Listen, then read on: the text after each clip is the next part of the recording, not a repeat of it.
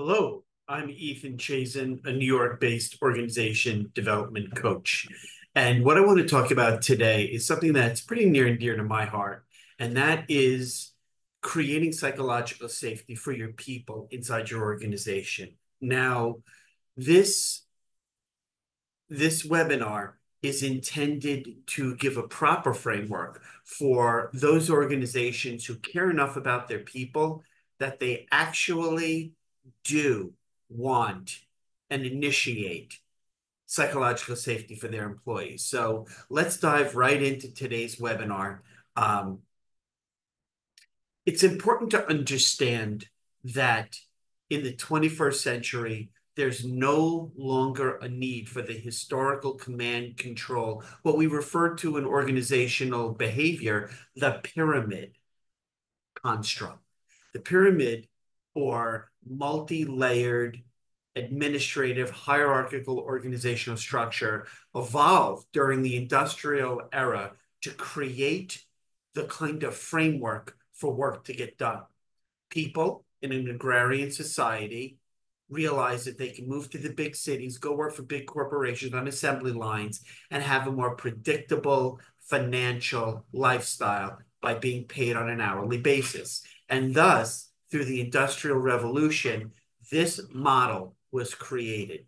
It existed actually hundreds and hundreds of years before the Industrial Revolution with the notion of kingdoms and the people, kings and queens, and the royalty who were at the top of society had to exert some kind of control over the people at the bottom, the peasants. So in order to do so, there was a, a requisite need to create levels of power and control and dominance in society. And so that trickled down. So you had the king or the queen, you had the court and the nobility, you had the people who defended the organization, and then you had the people at the bottom. So now if you transfer this model, if you shift it to 20th century, you can easily picture the CEO, um, a, a white male at the time, and their leadership team, what we now call the C-suite, C blank O, C, chief financial, chief operational, chief information. You get that. That's the CEO as king and the leadership nobility.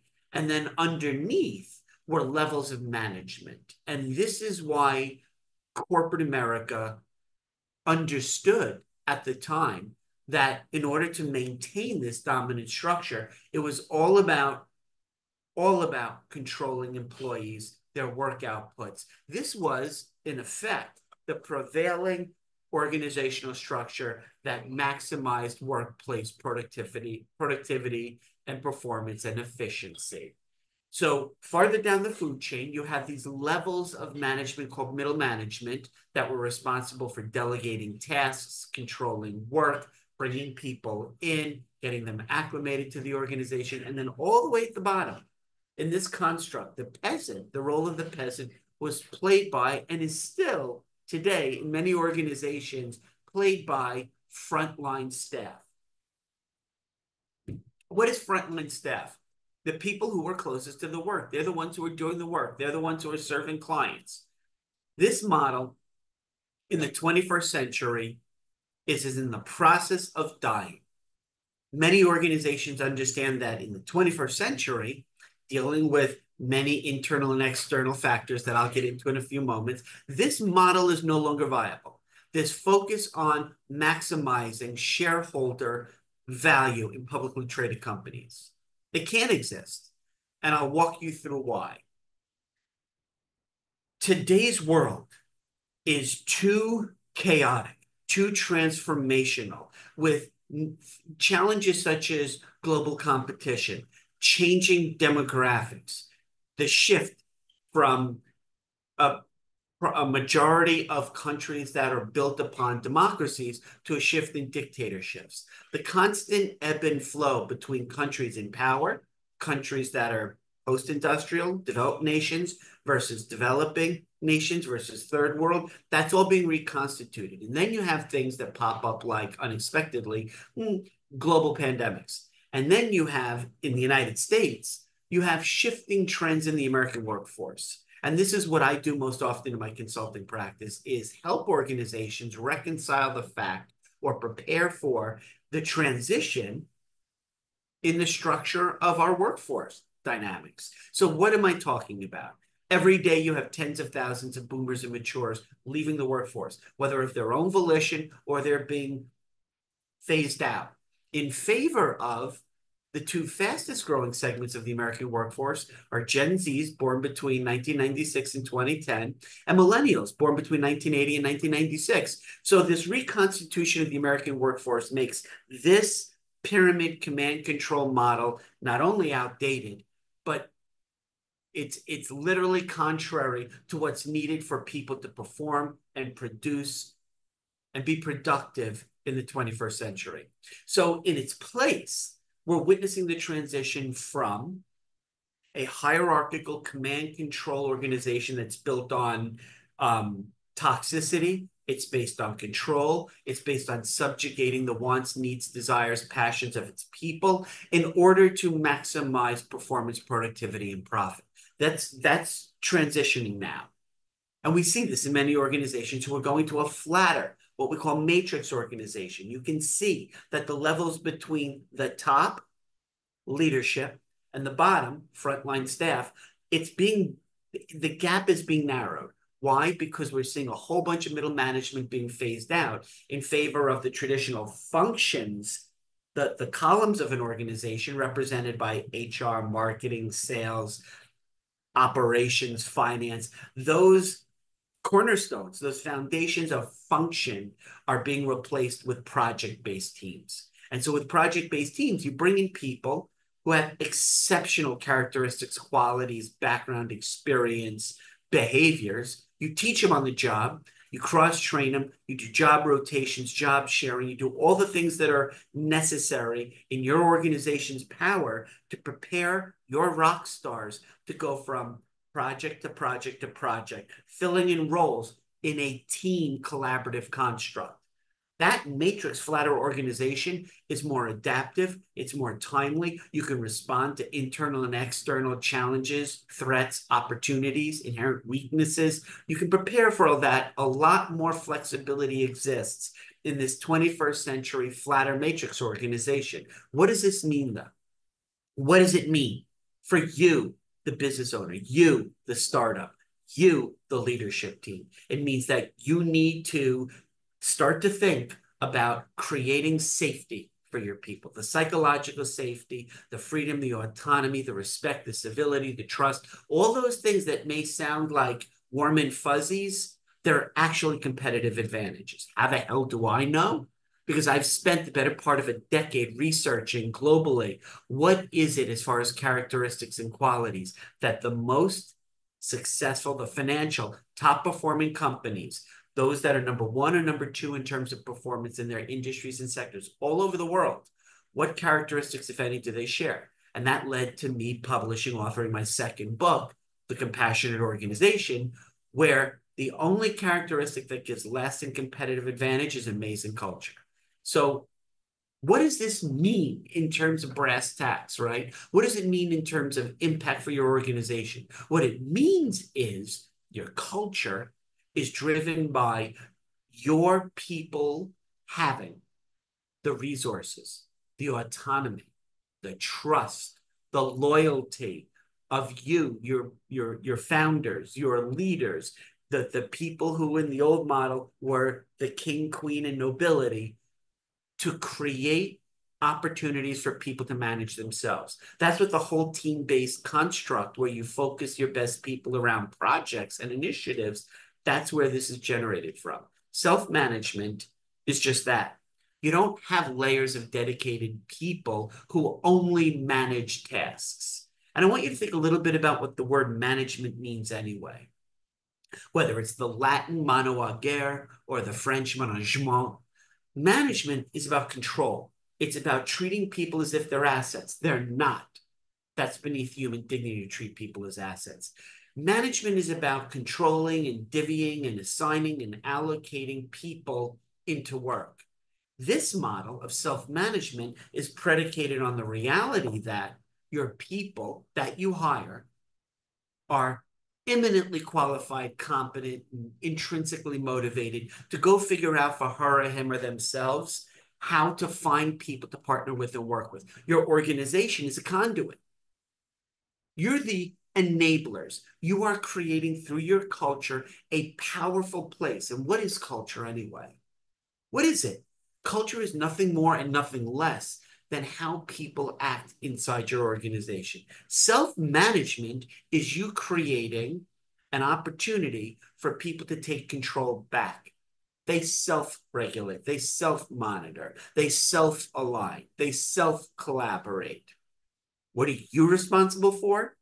Creating a, a culture that facilitates searching for these people, finding, bringing them in, empowering them, giving them all the tools, background, experience, everything they need, training, reward, recognition, motivation, coaching, mentoring, feedback. Your job is to foster self management. So there's a thought, there is a strong thought that control of an organization should exist with, if you go public, the people who invest, the shareholders, or perhaps it's the founders, the owners that they exclusively should have the God given right in an organization to own it. Ownership needs to be passed down to people in the 21st century for them to have blood, sweat, and tear equity in the game. That's it. That's a practical reality. You don't like it, I'm sorry. But that's a, a necessary prerequisite for the empowerment of your rock stars, your people, you may still think of them as serfs or vassals or peasants, but they're the people who are closest to the work. They're the ones who get the work done. They need to have equity. And employee stock ownership plans, whether your people own a portion, if not the entirety of the organization, it's definitely a opportunity for you to create lasting competitive advantage if you so choose to go down this road. Another idea that has come. I mean, I've been doing this for 30 years in organizations. Your people are closest to the work, right? Whether it's this or this, they're the ones who day in, day out are tasked with, whether you call them goals, KPIs, getting stuff done. Why not empower them to come up with and reward them for coming up with the ideas that hits positively two areas of financial top performance for your organization. One is top line, the revenue generation. How do you do that?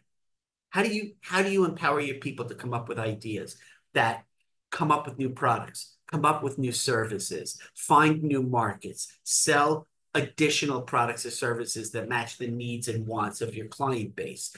That top line, that revenue impact generation comes from your people being empowered, trusted, rewarded for coming up with ideas that you fund. So you set aside every year on a calendar basis, budgetary discretion, you fund idea generation programs. It's all what it's what all the best organizations in the world do.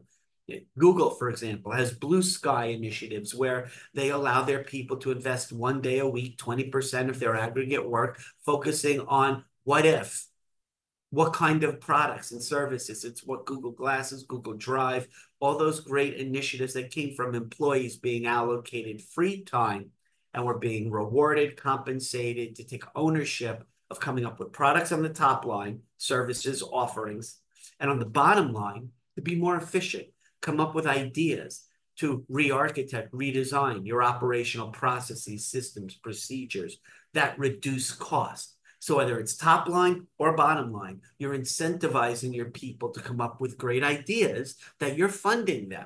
It's literally a internal startup funding model. Because what'll happen is if your people have great ideas and you don't allow them to own them and act on them, they'll leave and start companies. And some of them are going to be quite successful. They could have been your successful internal startups.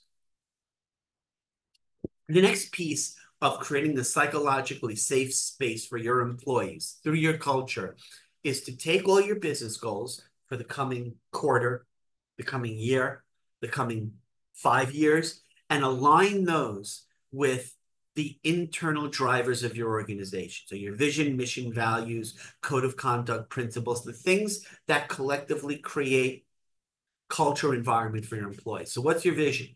It's aspirational. You can't prove whether it's true or not. Your vision is we want to become the safest, most respected logistics company in the world. Can't be proven to be accurate, but it should strike at the heartstrings. It should motivate your people, clients, the media, all those internal and external stakeholders that hear of your vision and see how you allow your people to act every day. Your business practices should be in alignment with your vision. And your mission is how to get there. Your mission is tactical, it's operational. So, for example, the US Tennis Association to promote uh, the advancement of tennis in the United States.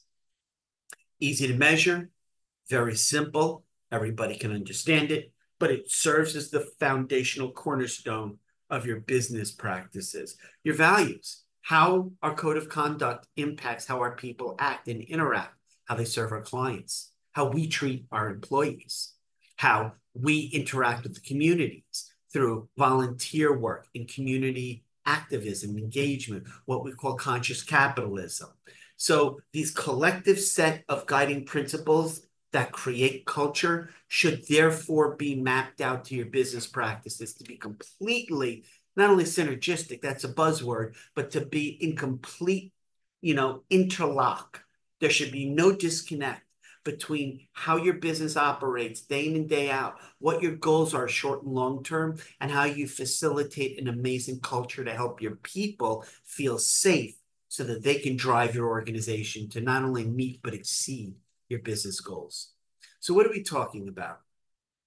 In the 20th century, for this to happen, right, and you put all the little Jenga kind of pieces in the in in the the jigsaw puzzle or the Rubik's cube, you had to have job descriptions. Not anymore. So job descriptions are an outdated vestige of a command control industrial era. Why are you still posting job descriptions? Well, the answer, although you think it's easy, is completely asinine and outdated.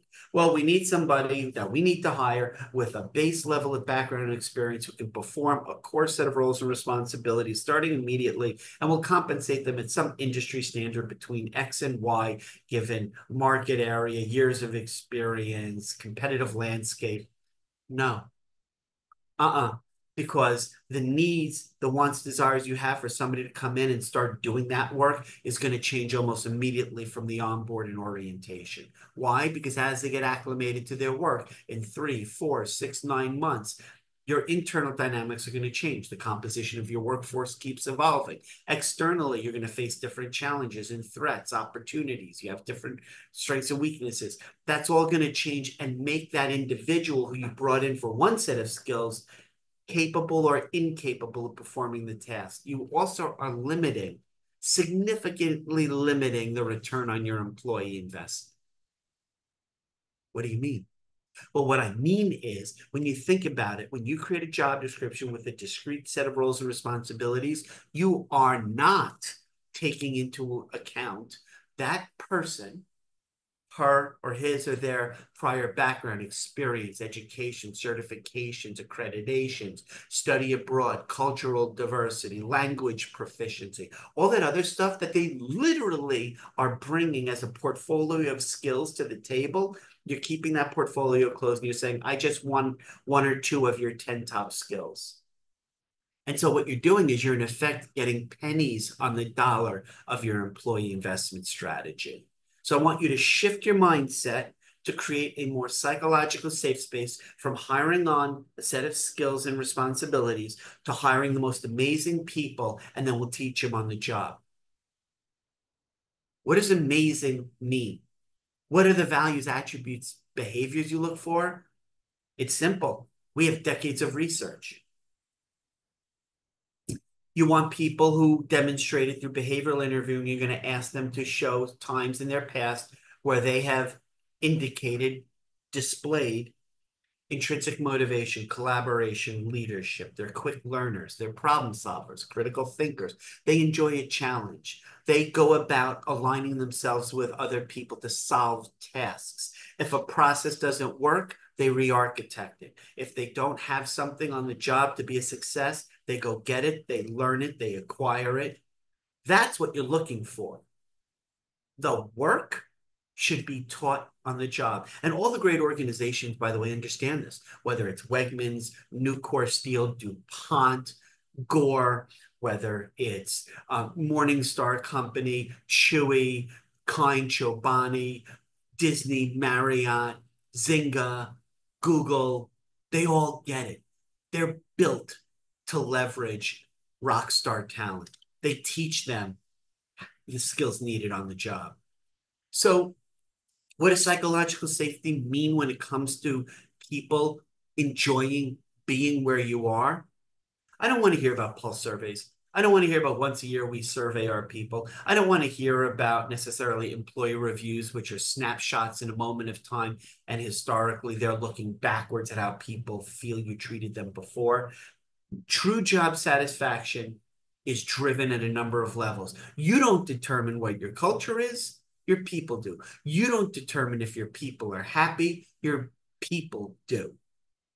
And this is not warm or fuzzy, right? We have decades of research. I don't even have the time to get into it today. But we know for a fact that people who are happier at work, how they define happiness, means that they're more engaged, they perform at a higher level, they produce, they solve problems, they think critically, they come up with new solutions, they come up with ideas, they create new products and services. The factor hit on your your financial profitability is magnified when you create aggregate collective workplace happiness and satisfaction. What does that mean? It means satisfaction that people enjoy their organization's culture. They feel like your organization, through its actions, its interaction with the communities it serves, that your organization's values, beliefs, code of conduct, ethics, morality matches theirs they feel like they have a voice that's not only heard, but acted on. They feel like they have control, perhaps through ownership. They feel like their work matters and has meaning to them and society. They're proud of their accomplishments, their team's work, and the organization's success. But to get there, you need to give up control. I've said this before from this to this. I've talked about management being a bad word leadership is what's driving people to be empowered. But you need to think about how much control people have over their work and give them the ability to re architect their job so that they have more autonomy. And so, what does autonomy be? This is the whole Daniel Pink model. If you don't know him, go watch the TED Talk. Daniel Pink talks about four key areas in which people are given in your organization greater control over what they do, their work. They're allowed to decide what they choose to work on. Remember, in a matrix organization, we're not with silos of function, we're with projects and identifying people to get together with to work on projects. So, autonomy is what they work on and who they work with, where they work from, and when they do the work. Oh my God, we can't let people do this. Why? Why? Perhaps does your organization, your management structure, your ownership, your business founders, your leadership team, why do you inherently not feel comfortable enabling and driving this? You know the answer, right? You do know the answer. It's predicated on a fundamental truism that you don't trust your people because you didn't hire the best. You have to extrinsically reward them, give them perks, um, give them bonus cards, time off, you know, salary increases. It's the carrot or the stick, right? The Douglas McGregor XY theory. You don't feel comfortable giving up control because at heart, you don't trust your people. And that's you. That's a you problem as an owner and as a leader. But you could literally, you could literally, by function, by department, by location, by specific leader, you could ask all of their direct reports four questions Go ahead and do it. I dare you. I double Dutch dare you. So you're going to ask four questions on a scale of one to 10. One is low, 10 is absolute autonomy. How much autonomy do you have over the work you do, when you do it, where you do it from, and who you do it with. That'll tell you in a heartbeat if you aggregate the responses by team, by department, by location, you will have a snapshot of real time how much autonomy your people do or do not feel they possess. If you understand that there is so much power in giving up control to reap the reward of your people's collective awesomeness, then you're going to do this. What does work autonomy even mean?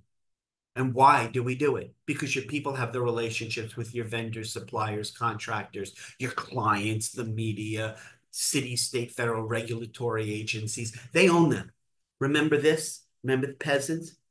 Remember frontline staff? They're there every day.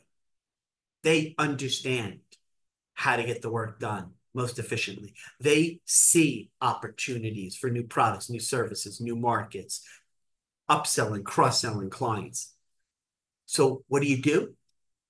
If you truly understand now that autonomy is to be pursued the right way, you find the best people, you bring them in, you find out what they need, what motivates each and every one of them. So you may hire two people on the same team with the same leader for the same projects, and they may come from similar, let's say, prior recruiting sources like academic institutions or the same organization you you stole them away from.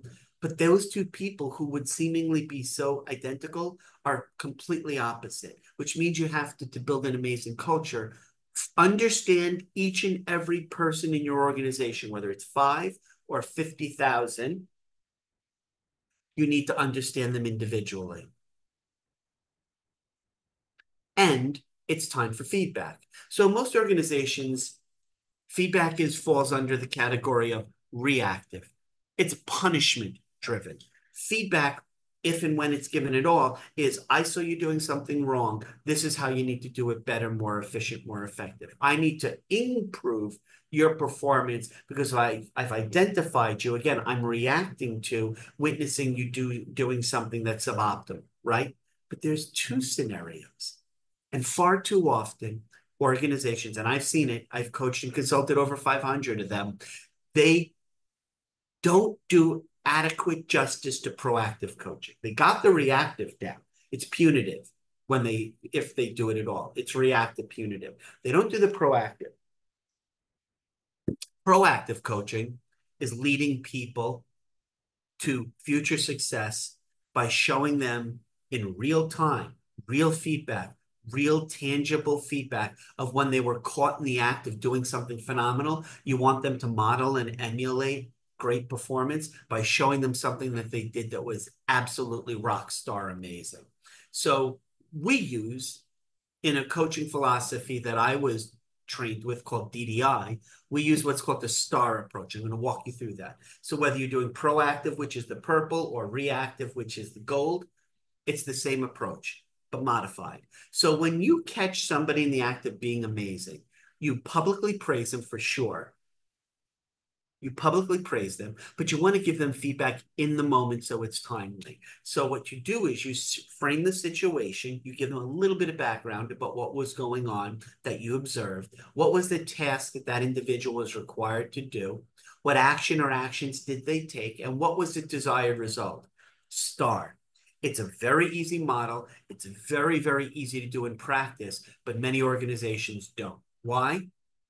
Because you just don't care you don't care about your people enough to give them that kind of positive, proactive, timely example of something they did amazing so that they can now we're in the middle of the 2024 Olympics. They can visualize, psychologically visualize top performance by picturing what they did that was so exceptional. World class Olympian athletes break down amazing performances into discrete hundreds, if not thousands, of component moves you're doing something comparable for your employees. But what is it that happens when you need to give them reactive or adjustment feedback? You've noticed them performing a task and yet they're not optimizing. Well, you could threaten them, you can insult them, often publicly is how it's done in command control organizations, or you can readjust their performance to give them pattern picture of positive outcome. So it's the same initial star approach as proactive. You explain to them the situation that you just observed. You talk to them about the task that was required, the action that they took and the result they achieved, because those were maybe not the most successful or were not the most likely to achieve the desired result. You give them an alternate action or actions and an alternate result that'll happen. But for that to happen, again, it has to be timely, it has to be specific, it has to be in the moment, it has to be private. And you, as a leader, not a manager, but as a leader, have to take dual ownership and responsibility of ensuring the person has what they need. So, again, the star feedback is universal in terms it's it serves two kinds of coaching and feedback mechanisms. The positive and then where they maybe missed the mark the reactive or the adjustment coaching is you're giving them the situation and task with an alternate action or actions to achieve an alternate result. And so go ahead. Go ahead. As a leader you're constantly asking these questions of your people. When was the last time i gave you positive feedback? Do you get or if you're a leader, not a direct report, do you give enough positive feedback? How come? You do. Why don't you? And can your superstar employees benefit from positive feedback? For sure. We know through organizational behavior, decades of research into it, that if you want to motivate people to achieve an optimal set of performance and productivity, you give them positive feedback. The worst thing you can do is negative feedback attacking them, insulting them, breaking them down. Less harmful than negative is nothing at all. If, if you're given two ends of a spectrum of positive or negative, and you can't be positive for whatever reason, just don't give them any feedback because negative is the most destructive. Not having any interaction or feedback with them is also destructive, but less so than negative. And positive is the gold standard. So we talked about that. I want to wrap up today. We're talking about psychological safety. We're talking about people's needs, wants, desires. And I mentioned this before. You want a psychologically safe space for your people to thrive, give them an amazing culture. But what does that mean? As I said before, culture is there, there's many different great definitions, but I like the I like the simplest ones as they can be understood and implemented after you watch this video. Culture is how people act every day because of the way you make them feel. Well, the way you make them feel exceptional is to understand them on an individual level. I'm going to give you two models a Maslow model and the five universal needs model. So we're going to talk with Abraham Maslow. So the beauty of his research into thousands of individuals and talking about universal needs was he identified that there are stages to people's need acquisition and you have to sequentially meet and exceed your people's needs at every level for them and you leading them to move up their performance productivity chain. So the first is the physiological. Do they have the basic elements of being safe? Existence. Assuming their physiological state of existence, and this, by the way, in your organization, this is what we refer to as health and wellness. Assuming that you and they are physiologically okay, they can move up to what's called safety needs. And the safety needs is a sense that there is some semblance of a future that exists. And we talk about it in the field of talent management. We talk about giving people some element of safety in terms of employment. When you say everybody's at risk, when you say people are an asset, people are to be controlled and dominated, and you practice layoffs whatever the circumstances. You're sending a very clear message. You don't care about their safety, and they should be worried that if anything happens, you know, vagaries in the market, um, changing changing lifestyles, changing competitive landscape. Your your go-to move, and this started in the 80s in America with the big three car manufacturers, layoffs, and it's so destructive. But assuming you believe that only in the worst case examples, and even then, like COVID, you're still going to protect your people's employment by figuring out creative solutions. You give them an element of safety so they can move up to now I'm able to connect with other people. What are you doing to create connectivity and a sense of belonging in your organization? Well, you may say, well, we allow our people to work hybrid or we allow them to be remote. I'm sorry, with over a million dead Americans and in response to COVID and a global pandemic, that ain't good enough. That sense of love and belonging, how do you make people feel a part of something? It's employee resource groups it's community activism, it's volunteering, it's creating a culture of kindness and caring and empathy, and welcoming people of all backgrounds. And don't get me started with diversity, equity, inclusion. That's just a box on a checklist. That's bullshit.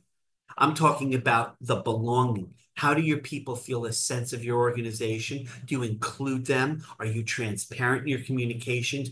Do they know what your code of conduct ethics principles are, your North Star? Do they know what your short and long term business objectives are? Are you constantly communicating? Are they involved in decision making? All the things I talked about before that creates belonging. Okay, you have a sense of shared belonging between you, ownership, leadership, and your people. Rise up now they have a sense of, I'm valued. I have a sense of self esteem. I feel a bit of achievement, accomplishment. I have the respect of others and I respect others I work with and enjoy being on teams with. My voice is not only heard, but people act on my ideas. I have a sense of esteem. And once you deliver that to your people, they can rise up to the greatest level of employee performance and productivity. Here's the thing and this is why so few organizations not only embrace this, but deliver on it. An employee and the organization working in tandem, at any point, your people can and often do get knocked down one or two levels based on shifts in the market, leapfrog technologies, shifts in supply chain realities. But organizations adapt and individuals adapt on levels to react to things that happen to them individually and the organization as a whole. And that may bump them down. And then once people get bumped down, you have to re-exert and reinstate their ability to climb back up. All for the impact of your employees achieving optimal performance and productivity. There's another model. It's the five universal needs. And I'm going to kind of rush through these, but reach out to me afterwards. We can talk through it at a level of detail. But if you imagine the Titanic crashing into the iceberg, right? Only a certain small amount of the iceberg was visible above the waterline. In your organization, only a certain number of needs are easily identified that most organizations limit themselves to unleashing their or resolving their people's needs, serving their people's needs. Those are the first two which are stated and real. What does that sound like in practice? Well, you're telling your people, what do you need from us to be successful? You're asking them, right? Point blank. And they tell you, they state it. Well, that's the stated need. That happens in business, in your organization, and in your personal relationships, right? But the minute they tell you, you may ask for a little clarification. Hold on, Jane or John. What I understand you said is, is that correct? And that gets to the real need. But again, that's only a minuscule, myopic, small piece of a human's totality of wants, needs, desires. What's not being served in your relationship with your employees is what's going unstated. And the only way to get to that deeper level, below, peek your head below the water level to see the bigger picture or the rest of the iceberg that'll sink your organization, is what they're not telling you often through you building stronger relationships with your people and really getting to know their wants, needs, desires, they'll start to open up to you and give you some of those unstated, those third level. But where we really get fascinating from a psychological and organizational performance standpoint is what happens when you start delivering people with things, benefits, workplace scheduling, teaming, advancement, promotion, reward, recognition, coaching, mentoring, paying for additional education, certifications, training. When you start to get down to that fourth level, you'll know it's a delight need when an employee's basic premise or reaction is, wow, you would do that for me? Yeah, we would do that for you. And the extent of an organization being a world class organization is you identify things that an employee may not even say or think consciously that she or he or they want for themselves because they never deemed themselves able to dream that big enough. And as an organization, when you start doing that fifth level of secret need fulfillment, you have now built not only the most productive and highest performing workforce to set you apart from your competition, you've also created an amazingly strong army of VIP brand ambassadors. Last thing I want to talk about is emotional intelligence. It's a very lengthy topic. You can go and you can Google Daniel Goleman, G O L E M A N, the godfather of emotional intelligence, but it's a four step process. It's built upon this notion of you creating a culture, a workplace environment in which your employees are empowered to identify how they're feeling and then to be able to manage those feelings so that they can start to look outside of themselves and witness the people around them and be observant of their team members so that they can form stronger relationships amongst their peers that optimizes performance and productivity in a new collaborative 21st century matrix team environment. So emotional awareness and being emotionally involved is enabling and empowering your people to take ownership, not just inside themselves with with but with each other. You need somebody in your organization to drive this trend or this transition to emotionally intelligent organizational culture. Set it up, do some initial training. You need an advocate, a champion at the highest level. Start literally at the three levels of your organization senior leadership, middle management, and frontline staff, and funded for two years. But let me explain what this is. It's a four step process. The beauty of this dance, according to Goleman, is you have to do it sequentially. So I'll walk you through the four stages. The first is self awareness. How am I doing? That's Ethan asking Ethan every day, How am I doing? How am I in this moment of time? Something just happened to me. How am I feeling? That's self awareness that enables me or gives me greater data about myself in the moment to say, you know what? I may be feeling that way now, but at least now I'm aware of it. And that gives me greater ability to be self managing how I'm doing. Once I accomplish that second level of self management, I can start to be more effective at looking at people around me, observing how they're acting, how they're behaving. I have relationships with them, so I know them pretty well now. I'm starting to pay attention to their cues, their verbals, their nonverbals, how they're speaking or not speaking in team meetings. That's making me more socially aware that's that social awareness will then at the third stage of me getting through that lead me to the fourth stage of what we call social management or being able to have constructive productive relationships with others. The last piece of bringing this whole psychological safety into full spectrum is conflict. Now my coaching my consulting practice i've dealt a lot with organizations who want to remove conflict. Hell no you don't want to remove conflict. You want to actually leverage it as a humanistic engagement strategy to get greater clarity, and greater critical thinking, collective critical thinking, problem solving, teamwork by embracing four levels of conflict. We know that conflict is an aggregate set of interactions where there's four broad categories, four strategies, and each of these four strategies of conflict are situationally appropriate or inappropriate. So let me walk you through all four quickly.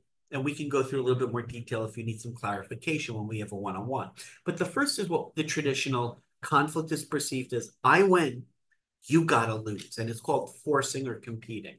So it's appropriate when the decision or the outcome is more important to me. We have very little time. I don't care about the relationship with you. I'm going to exert my force of will on you and I'm going to get what I want because it doesn't really matter to you or you don't see the big picture. And the relationship between us isn't something where we have to be collaborative. That's when it's appropriate. When it's not appropriate for me to force my exert my will upon you and me to try to win, is when we both have skin in the game. It's important to both of us, two or more parties. We need to work collaboratively on this initiative and other work. And we really need to come up with a more creative, robust set of creative solutions. So that's win lose. There's another solution, which is accommodation. I will lose on this so that you can win. Why? Because it doesn't matter to me. This is when it's appropriate collaboration. or accommodation. It doesn't matter to me, but it matters to you. And I care about our relationship. And I don't have all of the data. You're the project lead. I just have a little, I'm contributing a bit of my background experience workflow, but you own this. And I need to make sure that you're okay because you have a view into senior leadership where they want this project to go. That's when it's appropriate for me to be acquiescent. When it's not appropriate is I'm going to be resentful. I actually do have skin in the game. It's important to me. I don't want to feel like I have to give in just because of your ego or your sense of pride or your sense of self-importance um, where you're forcing me and I'm going to resent it. So the next three, excuse me, the next two of the four conflict solutions, one is called collaboration. We both win. We both derive benefit from this shared initiative, this shared approach. It's when our relationship is important. This is when it's appropriate.